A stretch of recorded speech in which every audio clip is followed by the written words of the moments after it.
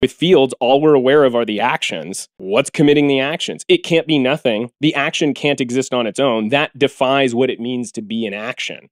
An action is an action of something upon something. It's actually super insane how often I run into people who are like, You're an idiot. We already yeah. have fields. And then yeah. I have to be like, I understand why you think I'm an idiot. Because you're right, we do have fields, but maybe you don't realize that a field is just a vector whose magnitude varies with its location in space, which means that it's a measurement of property, a quality of something else. And that something else is a question that until we recognize hasn't been answered, we have no chance of addressing.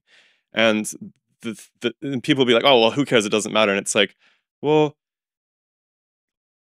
if we didn't have this idea that molecules were little bits of things that could recombine, would we have all of the advances in chemical technology that we have today?